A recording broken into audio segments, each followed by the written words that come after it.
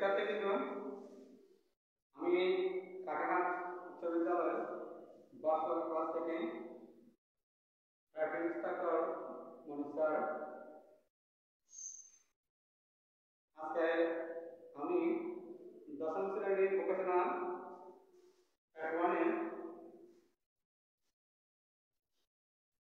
Track two এর প্রথম অধ্যায় নিয়ে আলোচনা করব। প্রথম অধ্যায় যেটা আমরা আলোচনা করব সেটা আমি একটু ঘুরে ডিসক্রিপশন দিয়ে দিই প্রথম অধ্যায়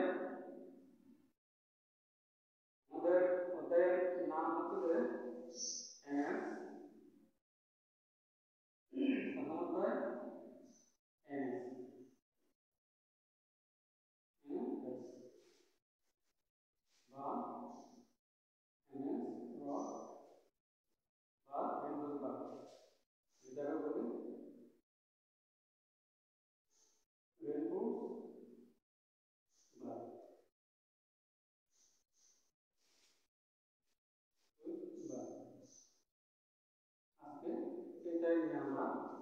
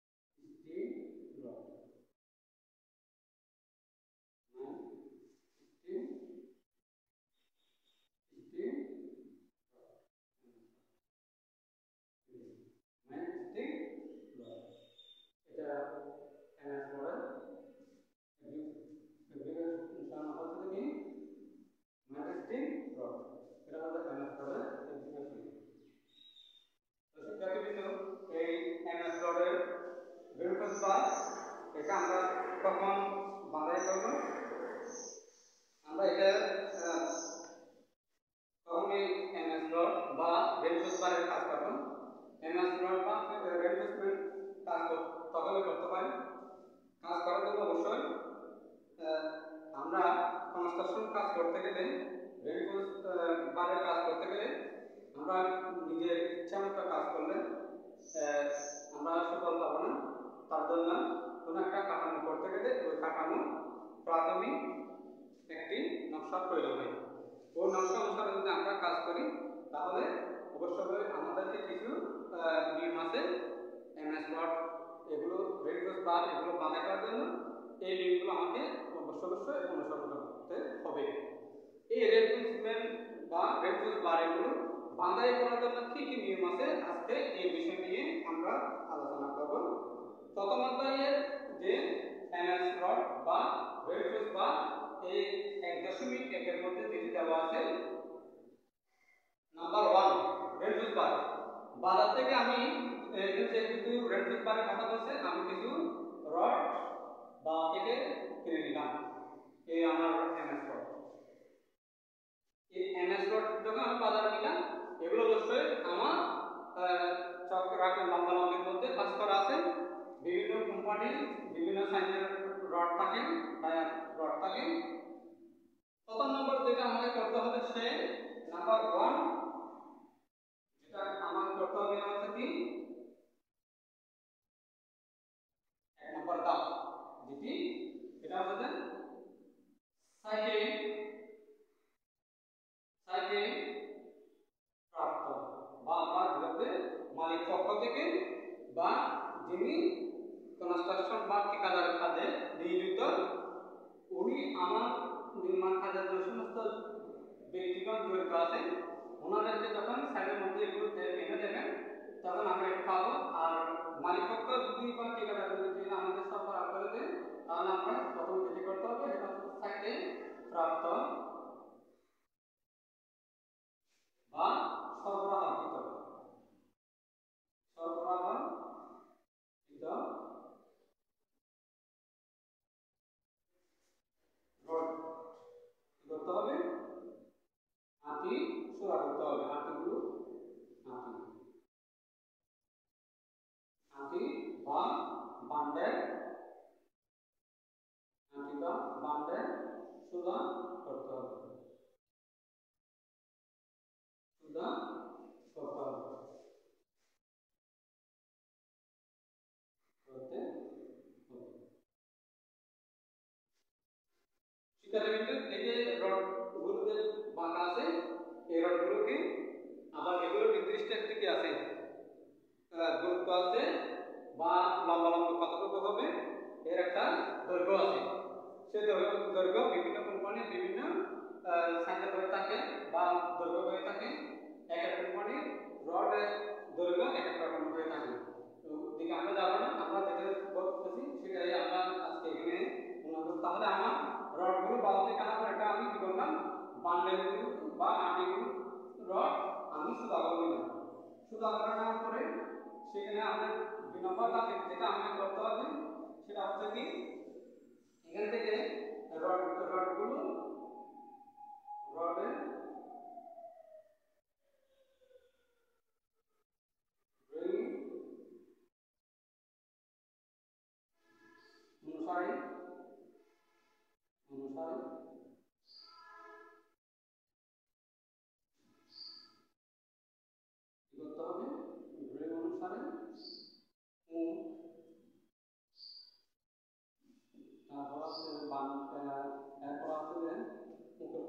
five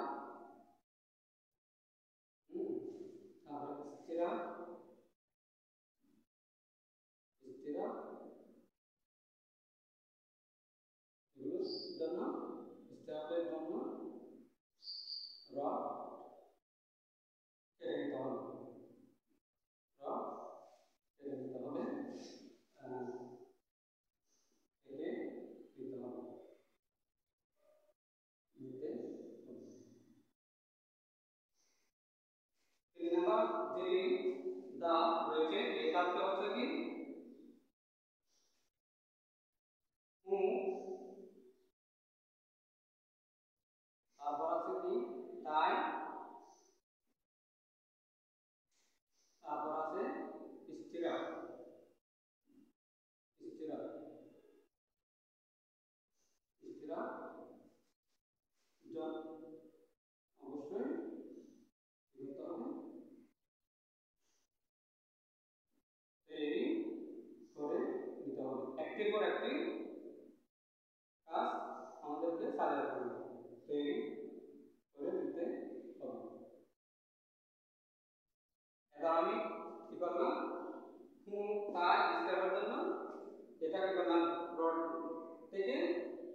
রডগুলো আছে সেখান থেকে আমি আমার প্রয়োজন মতো মুখ তাই স্টাফ এগুলো আমি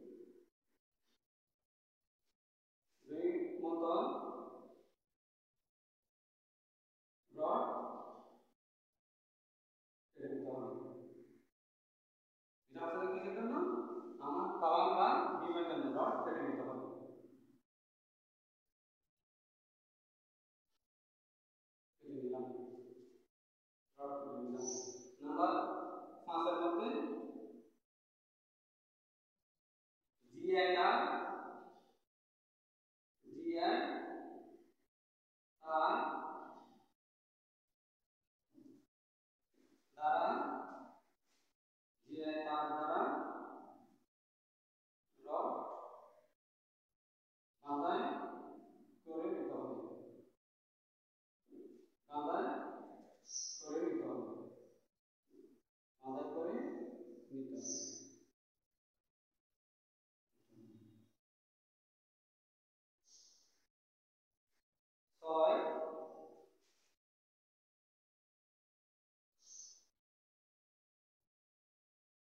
আমি যে রডগুলো আমাকে তারপর কল করবেন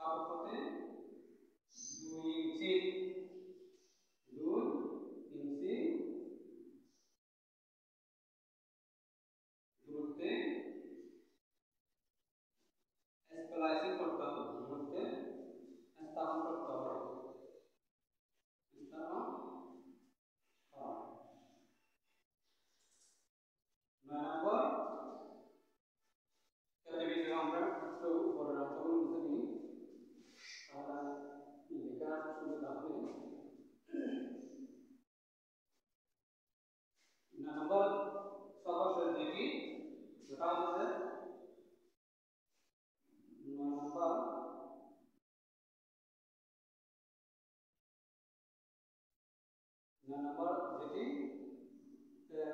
কলাম কলাম বা বিমে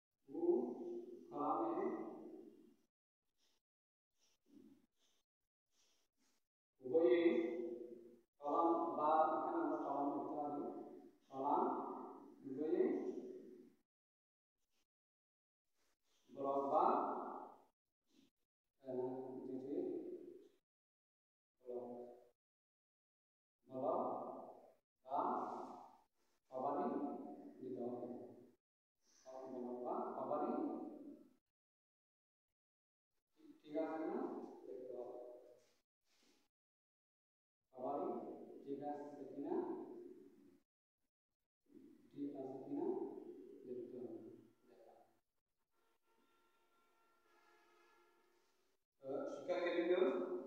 হবে হচ্ছে আজকে আমাদের দশম ভোকেশনালে